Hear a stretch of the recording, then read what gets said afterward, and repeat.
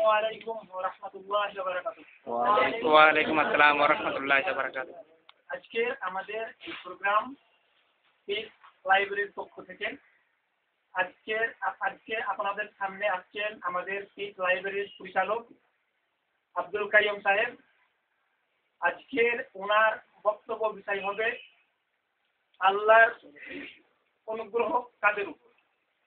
আসুন আব্দুল কাইম সাহেব এখানে এসে আপনার মূল্যবান বক্তব্য জনগণের সামনে পেশ করুন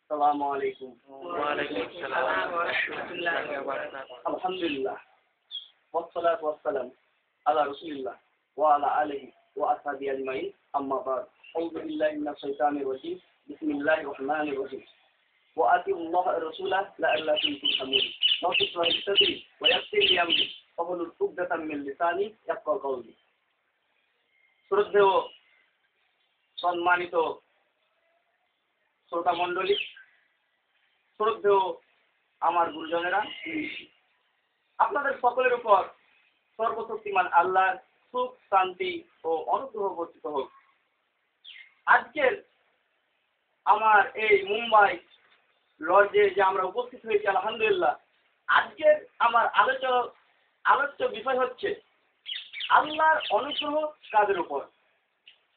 তার কারণ, বিশেষ করে অনেক মানুষেরই এই ব্যাপারে ভুল ধারণা রয়েছে যে আল্লাহর অনুগ্রহ সম্পর্কে, বিশেষ করে যারা হয়তো পাঁচক নামাজ আদায় করে না, তারাও মনে মনে বলে বা তারাও ভাবে যে আল্লাহ ইচ্ছা করলে আমাদের উপরে অনুগ্রহ করতে পারেন, আমরা জানাতে চলে যাব। আর যদি নামাজিরা তাদের উপর যদি আল্লাহ তাআলা অনুগ্রহ না করেন, তাহলে তারাও জানা যেতে পারবে না। আমি আপনাদের সামনে যে পবিত্র কোরআন থেকে একটি আয়াত লাভ করেছি যেটা উল্লেখ আছে সুরা আল ইমরান, সুরা নম্বর তিন, আয়াত নম্বর একশো বত্রিশ। সেখানে বলা হয়েছে ও আতি উল্লাহ রসুল্লাহ আল্লাহ তুরহামুন। তোমরা আল্লাহ ও তার রসুলের অনুগত্য করো, যাতে তোমরা কৃপা লাভ করতে পারো। এখানে আল্লাহ তালা আল্লাহ তালা দয়া পেতে হলে যে শর্ত দিচ্ছেন সেটা হচ্ছে ও আতিউল্লাহ রসুল আল্লাহ এবং তার রসুলের অনুগত্য করা। আল্লাহ তালা বলছেন, যদি তোমরা আল্লাহ তালার অনুগ্রহ পেতে চাও, তাহলে আল্লাহ এবং তার রসুলের অনুগত্য করো। আর একটা প্রসিদ্ধ কথা, আমরা প্রায় সবাই জানি, আমরা সবাই জানি যে আল্লাহর অনুগ্রহ ব্যতীত কেউ জান্নাত যেতে পারে না। আমরা যতই নামাজ, রোজা, ভালো কাজ করি না কেন, আল্লাহর অনুগ্রহ ব্যতীত কেউ জান্নাত যেতে পারবে না আর ঠিক এই কথাটার উল্লেখ রয়েছে। সহি হাদিসে এটার উল্লেখ আছে সহিউল বুখারি। অধ্যায় নম্বর পঁচাত্তর, অনুচ্ছেদ নম্বর উনিশ, হাদিস নাম্বার পাঁচ হাজার ছশো তিয়াত্তর। বিখ্যাত সাহাবি আবু হুরাইরা রবি আল্লাহ আনহু, তিনি বর্ণনা দিচ্ছেন, তিনি বর্ণনা দিচ্ছেন যে আমি রসুল্লাহ সাল্লাহ আলিয়া সাল্লামকে বলতে শুনেছি, তোমাদের কোনো ব্যক্তি তার নেক আমল তাকে জান্নাতে প্রবেশ করাতে পারবে না। লোকজন প্রশ্ন করল যে, হে আল্লাহ রসুল, আপনাকে রসুল্লাহ সাল্লাহ সাল্লাম বলে আমাকেও নয়। যতক্ষণ পর্যন্ত আল্লাহর অনুগ্রহ আমাকে ঘিরে না রাখে। কাজেই তোমরা মধ্যম পন্থা অবলম্বন করো এবং আল্লাহর নৈকট্য লাভের পরিদেশে চালিয়ে যাও। এই হাদিসটাকেই সামনে রেখেই অনেকেই ভাবে যে, হয়তো তারা ইসলামের কাজ করে না, নামাজেরও কোনো ভার ধরে না, আর তারা ভাবে আল্লাহর অনুগ্রহ যদি আমাদের চলে আসে, তাহলে আমরা জান্নাতে প্রবেশ করতে পারব। আর যদি তারা ভালো কাজ করে, যদি আল্লাহর অনুগ্রহ না তাদের উপরে থাকে, তাহলে তারা জান্নাত প্রবেশ করতে পারবে না। আমি আলোচ্য বিষয় আগেই বলেছি যে, আমার আয়ের যে ক্লাউজ করেছি, যে আল্লাহর অনুগ্রহ পেতে হলে আল্লাহ তালা যে শর্ট করেছেন, সেটা হচ্ছে ওয়াতিউল্লাহ রসুল, আল্লাহ এবং তার রসুলের অনুগত্য করা। এক নম্বর পয়েন্ট দুই নম্বর পয়েন্ট হচ্ছে, আল্লাহ তালা বলছেন, কাদের উপর আল্লাহ অনুগ্রহ কাদের কাছাকাছি? আর এটার উল্লেখ পাবেন, এটার উল্লেখ আছে সুরা আরাফ, সুরা নম্বর সাত, আয়াত নম্বর ছাপান্নতে, সেখানে বলা হয়েছে যে আল্লাহর অনুগ্রহ সৎকর্ম করেন নিকটবর্তী।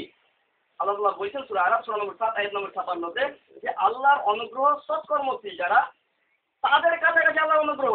যারা ভালো কাজ করবে না, নামাজ পড়বে না, রোজা করবে তাদের কাছাকাছি নয়।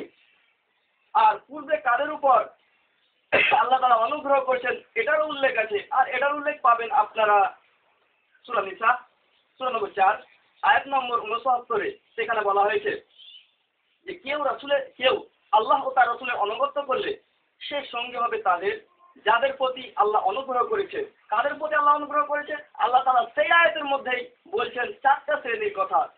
নবী, সিদ্দিক শহীদ ও সলেহ অর্থাৎ সৎকর্মপরায়ণ তাহলে চারটা শ্রেণির কথা আল্লাহ তালা বলছেন যে আল্লাহ তালা এদের উপর অনুগ্রহ করেছেন আর আল্লাহ তালা প্রশংসা করে বলছেন তারা কত উত্তম সঙ্গী। আর কাদের উপর আল্লাহ অনুগ্রহ করবেন? এটা খুবই সুস্পষ্ট ভাবে বলা হয়েছে পবিত্র কোরআনের সূরা তৌবা সূরা নম্বর নয়, আয়াত নম্বর একাত্তরে। সেখানে বলা হয়েছে যে মমিন পুরুষ ও মমিন নারী, এরা একে অপরের বন্ধু। এরা সৎ কাজে নির্দেশ দেয়, অসৎ কাজে নিষেধ করে। সলাৎ কায়েম করে জাকাত দেয় এবং আল্লাহ ও তার রসুলের অনুগত্য করে। এদেরকেই আল্লাহ কৃপা করবেন, এদেরকেই আল্লাহ দয়া- করবেন। তাহলে আল্লাহ কি বললেন? যে মমিন পুরুষ ও মমিন নারী, এরা হচ্ছে এক অপরের বন্ধু। এরা সৎ কাজের নির্দেশ দেয়, অসৎ কাজে নিষেধ করে। এরা সলাৎ কায়েম করে, অর্থাৎ নামাজ কায়েম করে এবং জাকাত আদায় করে। আল্লাহ তালা বলছেন, এদেরকেই আল্লাহ তালা দয়া করবেন।